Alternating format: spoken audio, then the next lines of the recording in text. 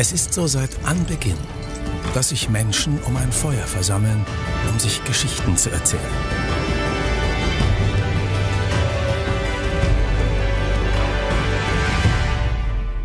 Was ist heute aus dem Feuer geworden?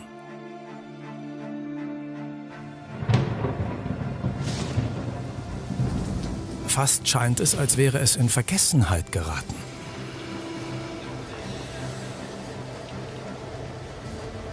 Ist nicht das Feuer immer noch in uns? Sind es nicht immer noch die gleichen Geschichten und Motive, die manchmal in uns aufblitzen? Was wäre, wenn wir diese Geschichten nicht nur in uns tragen würden? Was wäre, wenn wir wieder anfangen würden, Geschichten in die Welt zu tragen, um damit Menschen zu inspirieren und zu begeistern?